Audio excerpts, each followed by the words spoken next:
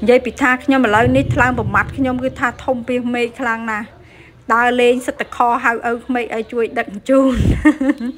ហើយណូនិយាយពីថាឪពុកក្មេកខ្ញុំនឹងចិត្តបានទៀតគ្រាន់តែថាខឡូប៉ា អឺប៉ាអាចមានពេលវេលាឯជូនខ្ញុំទៅផ្ទះមិត្តភ័ក្ដិខ្ញុំបានទេអូយញ័រក្អិចអូអ្នកឯងចាំខ្ញុំមួយផ្លែតខ្ញុំមួយទឹកសិនអីសិនអញ្ចឹងគាត់លៃលោកម៉ោងគាត់ទៅធ្វើការអញ្ចឹងមុនទៅធ្វើការជូនកូនណែមកដាក់ផ្ទះមិត្តភ័ក្ដិហើយហ្នឹងមកដល់ចដើយន្តហើយហ្នឹងគឺថាមកដល់ក្រុមផ្ទះមិត្តភ័ក្ដិហាត់ព្រមទៅទៀតជូនតើឡើងមកដល់ចដើយន្តហើយខសួរទៀតអឺ រកឃើញអត់រកផ្ទះឃើញអត់ខ្លាចវិញវ័ន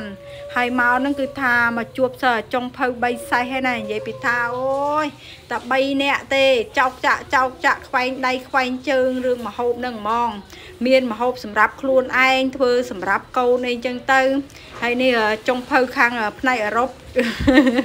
ជោគលលាស់ជោគលលាស់ខ្ញុំថាធ្វើឲ្យឆ្ងាញ់តែអត់ឆ្ងាញ់ណា អាកូនពូជខ្ញុំកំ pl ែណាកូនពូជខ្ញុំតែអត់ឆ្ងាញ់ថាអត់ឆ្ងាញ់ហើយអត់មានញ៉ៃញ៉ៃច្រើនទេអញ្ចឹងចុងភៅនឹងគ្នាខំជោគកលាស់ជោគកលាស់នឹងបញ្ចេញថ្មីដៃអស់ពីសវត្ថភាពហ្នឹងណា ចាំទៅសិតតែកម្ពូស្ត្រីមេផ្ទះហើយណែអូយមុនហើយនឹងគឺថាមានបាយស្រូបបាយអីរៀបចំឲ្យប្តីឲ្យស័យអីតែអញ្ចឹងដែរណាហើយនេះគឺថាជុំវិញផ្ទះនឹងគឺថាមើលទៅឆ្លាស់មុខឆ្លាស់មាត់អាហ្នឹងចំហៀង